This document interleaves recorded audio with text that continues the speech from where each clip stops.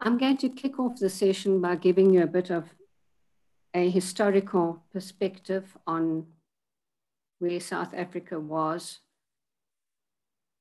during the 1990s and then in the early 2000s.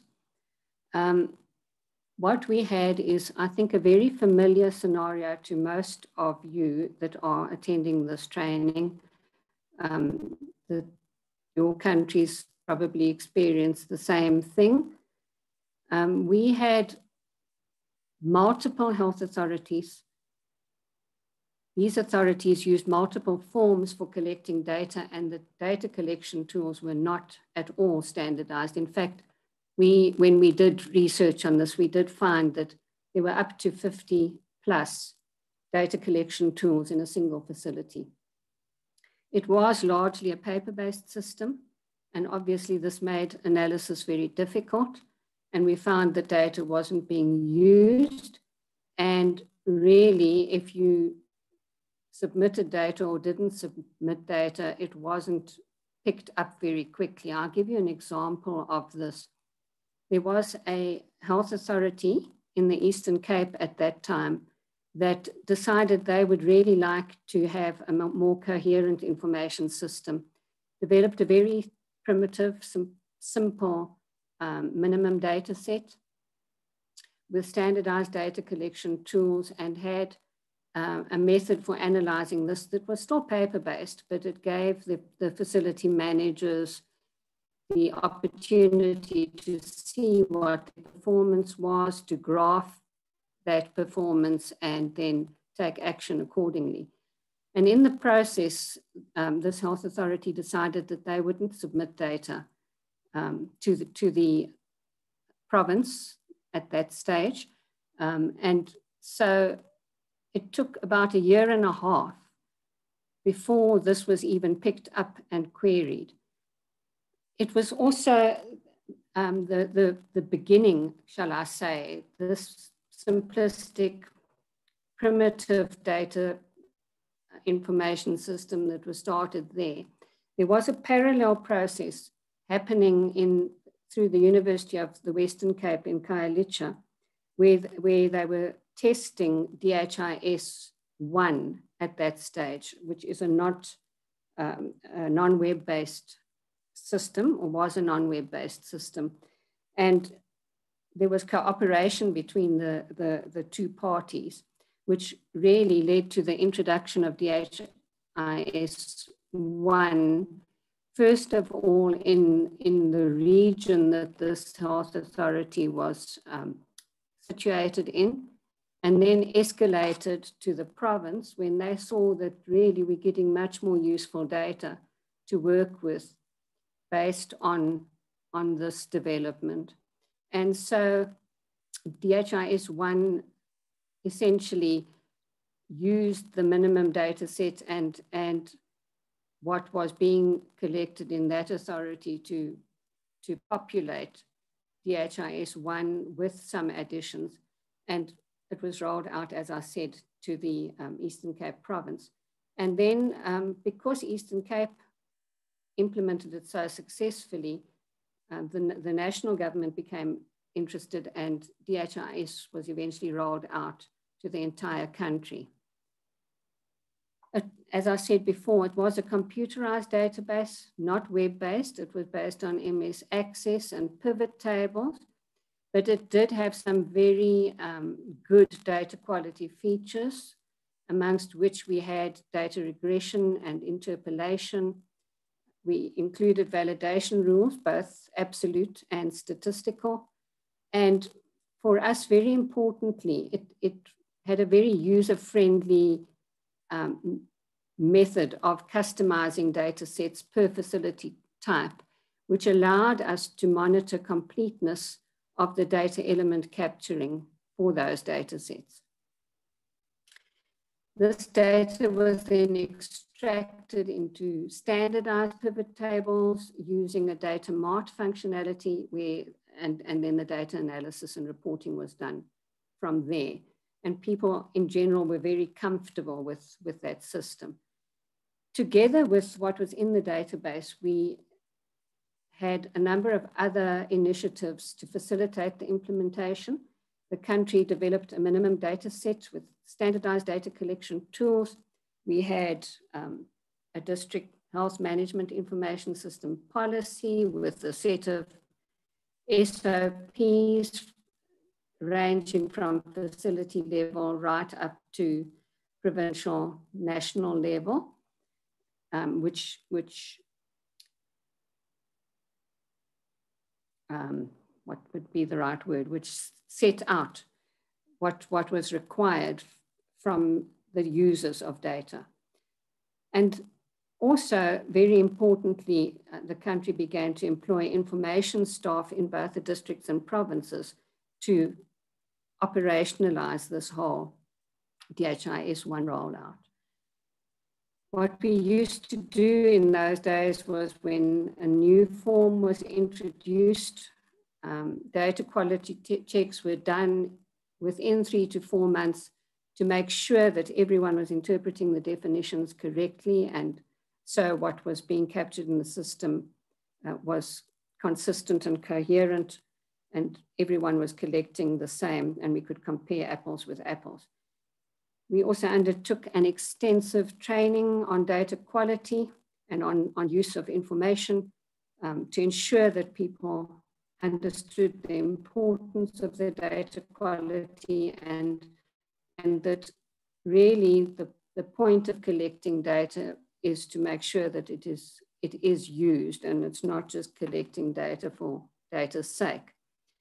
Another initiative at that stage was that we introduced uh, pre-submission data validation and we developed a standardized template for people to collect this, um, to do the pre-submission uh, on.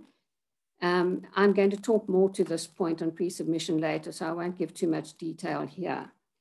Sorry, and the final thing was that South Africa has a process where data is locked at the end of the financial year so that no further editing can be done. So in addition to doing pre-submission data validation, the country had um, data cleanup workshops in each province to make sure that we picked up on anything that would seriously skew the data before locking. Then the data is locked and people prepared their annual reports based on that. So why did we stick with DHIS 1 for so long and, and why did we then decide to update to DHIS 2? Mainly the delay was because of the data quality and analytics features that DHIS 1.4 that we were using at that stage had and DHIS2 at that stage did, did not have all of the data quality features that, that were available in DHIS 1.4.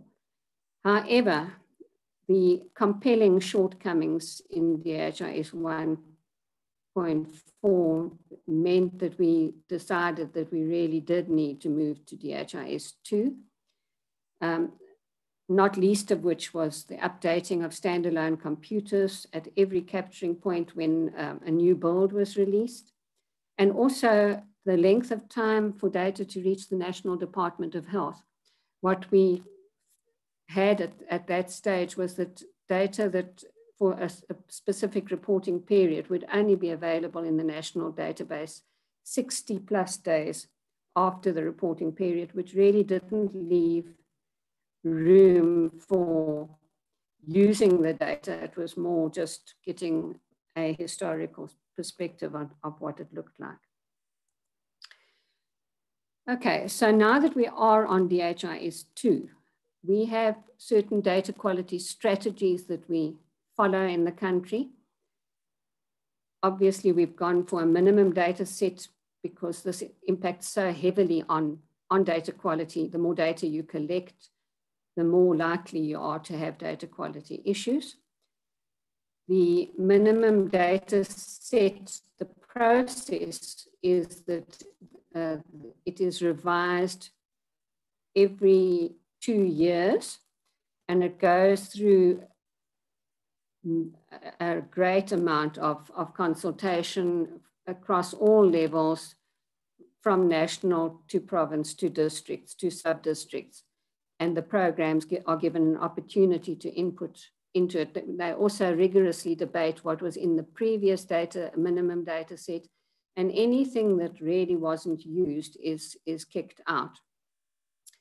And once they've settled on the minimum data set for the next two year period, it is signed off by the Minister of Health. Another strategy we have is daily data capturing. we refer to it as DDC, and it, it takes place at service point level. The reason why we introduced daily data capturing is because what we found when the auditors um, audited the information system in South Africa, which is part of the legal um, requirements in the country. They don't only um, look at finances, they look at your information as well. And what they found was that the majority of the errors that we, they found between the source documents and DHIS were related to the collation of data, much more so than with the capturing of data. So daily data capturing involves setting up, I'll give you an example, a clinic. Each of the consulting rooms in, in the clinic where data is collected is then set up at level six in the, the org unit hierarchy in DHIS. And the data capturer will then capture on a daily basis for that service point the data in their data collection tool. It is not put into a summary form in any way. Um, it is, is captured directly from the data collection tools into the database. And in this way, we cut out the collation errors. We also use standardized public dashboards, of which three are devoted to data quality, and I'll talk to this a little bit later on. Another strategy is to apply legends to our indicators. We use robot, robotized colors to show um, performance. And then we also color code blue for any unlikely value, value so that they stick out from a data quality point of view. For data quality, we've also developed two HTML reports. One monitors the timeliness and completeness prior to deadlines. I will give you an example. I will show you an example of this report a little later. And also we have the element reporting rate for our community outreach services. It is the only service where we were able to really look in detail at element reporting rate rather than, than finding other means of trying to, to monitor completeness. Then we have the pre-submission reports, as I mentioned earlier, that are in that standardized template. And these pre-submission reports also meet the requirement from the DHMIS, District Health Management Information Systems policy, which requires the higher level to get, give feedback to the lower level within five days of them receiving the, the data.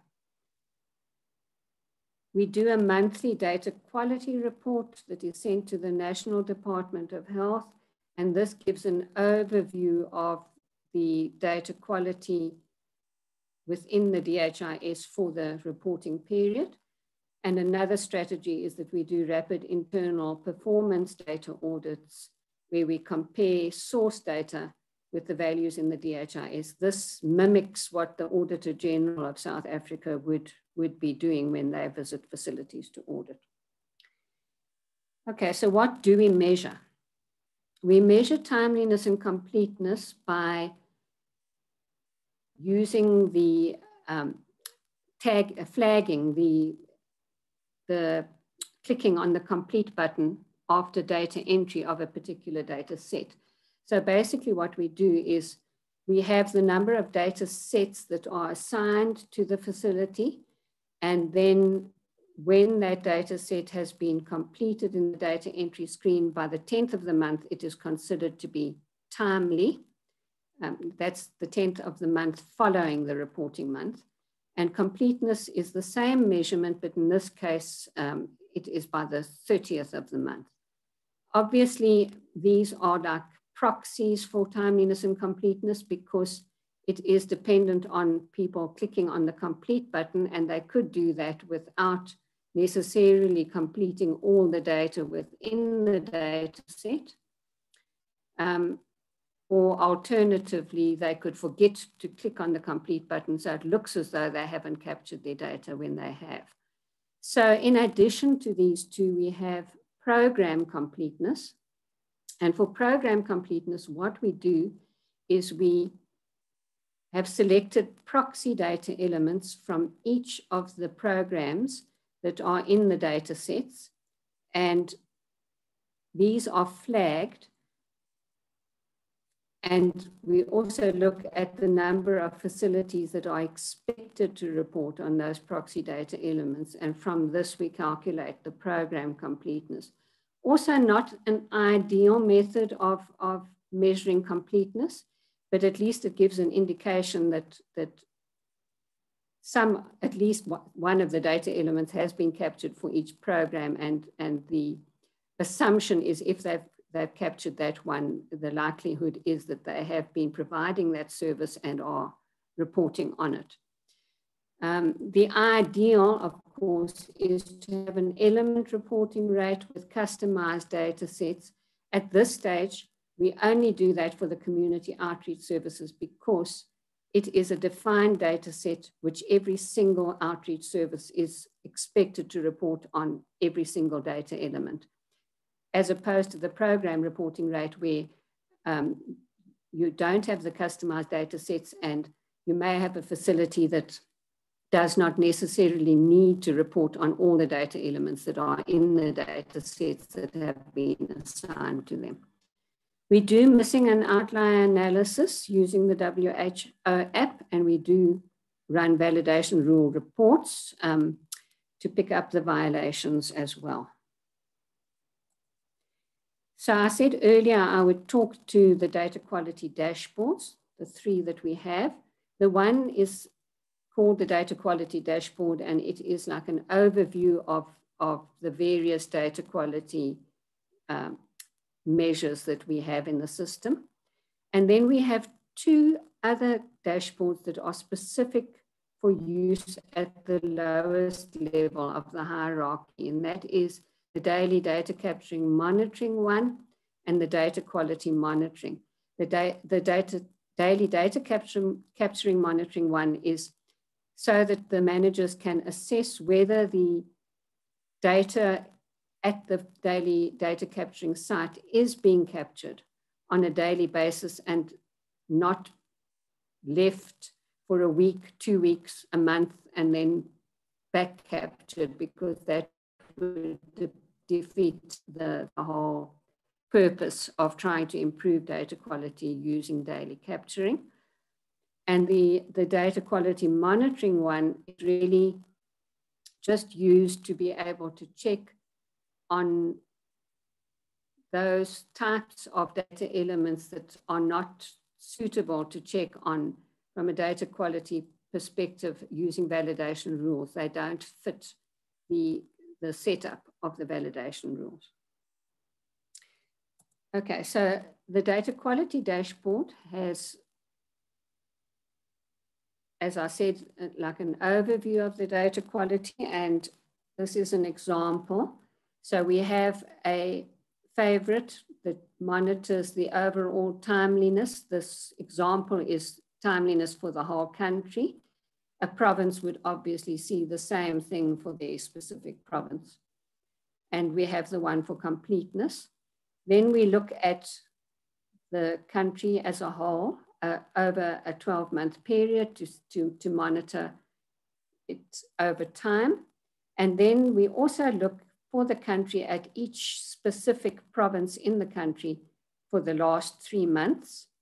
If you look at these two dashboards, we read them together. So this is the raw data that makes up the timeliness rate and the raw data that makes up the completeness rate. And you can see we use category option combos for which data sets were actually completed over which data sets were assigned to the country in that particular month.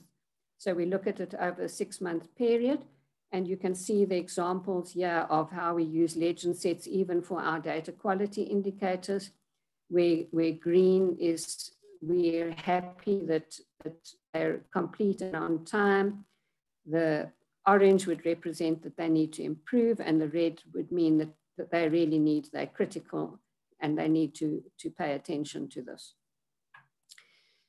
I also said earlier that, we, that I would show you an example of our HTML report that we use for timeliness and completeness.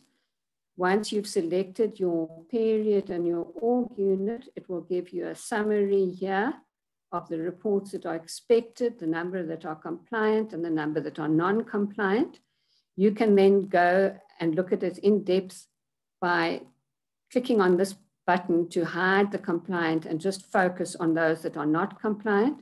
You can also go and filter on any of these columns to refine your, your um, search and you will see the expected reports for a given facility or, uh, or a given data set or even a given service point um, and who actually completed and completed on time. And then you can go and follow up on these facilities before the due date to make sure. So before the 10th of the month, we focus on timeliness and highlight to the, the district, sub-districts facilities, which facilities have still not completed before the 10th.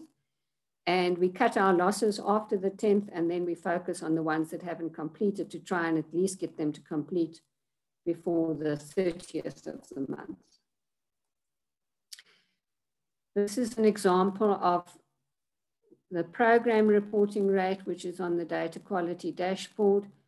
Um, you can see that, that the levels of program reporting uh, completed are pretty high. Our, our standard is that we expect 99.5% completeness of that particular proxy data element. And if they have any less than that, they are highlighted for action. And then this is the element reporting rate HTML report that is used by um, the outreach for, for the outreach teams.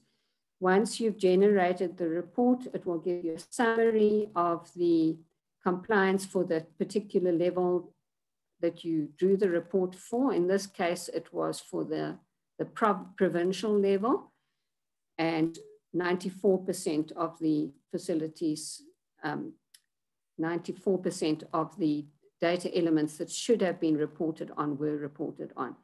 You can then further go and look at it by facility to see which of your facilities were the ones that stopped you from getting your 100% over this was done over a three month period and you can see there, there, this facility did not submit everything in April and this one in May and these two just didn't submit their reports at all for May.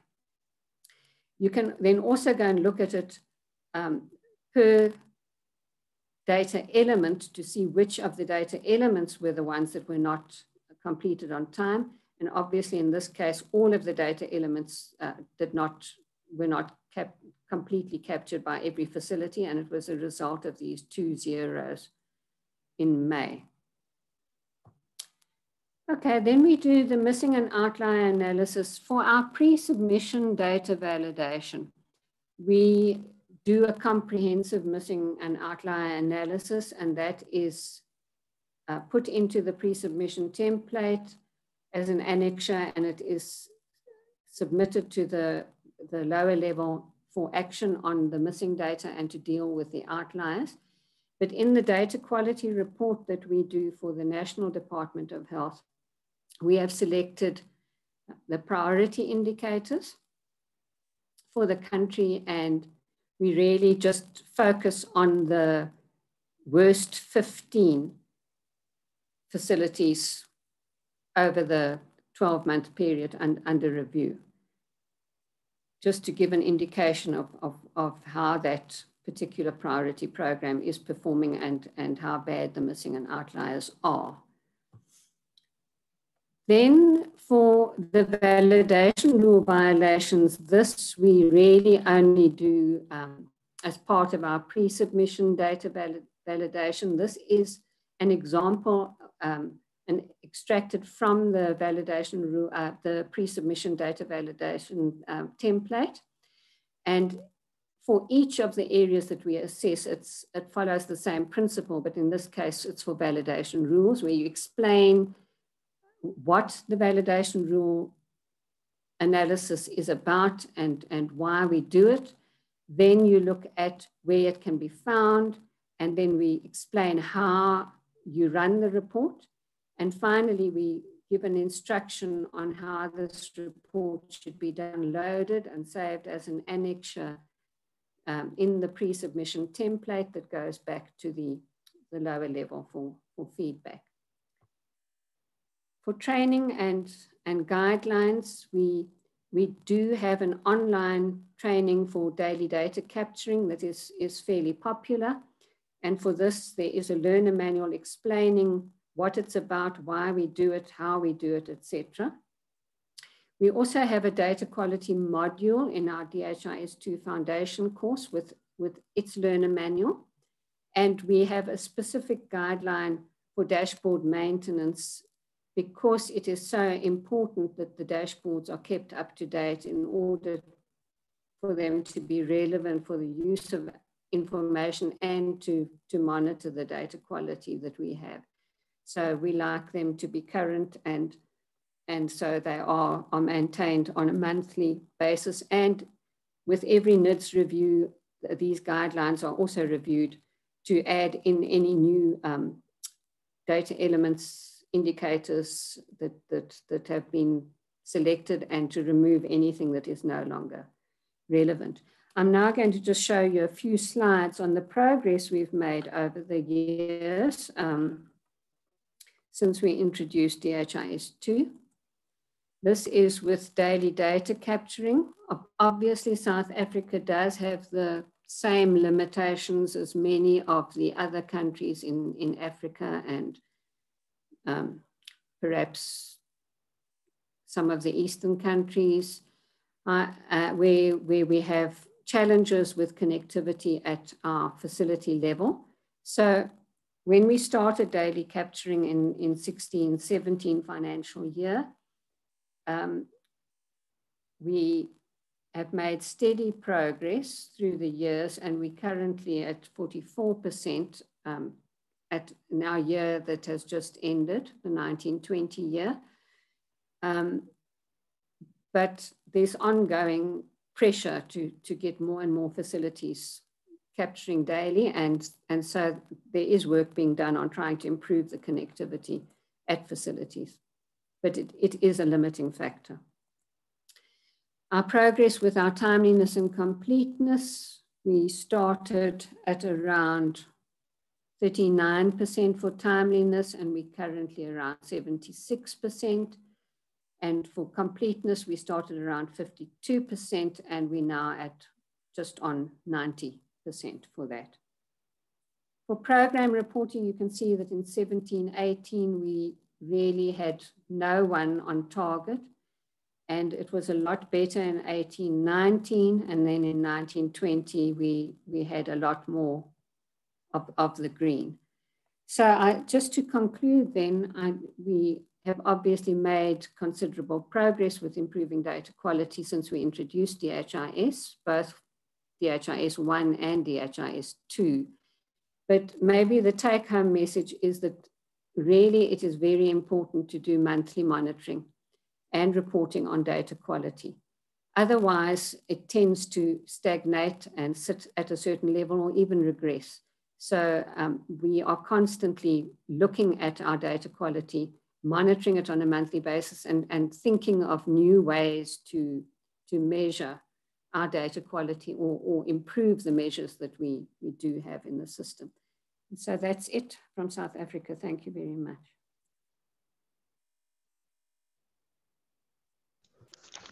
Thank you so much, Jenny. That was a really wonderful presentation, uh, really clear.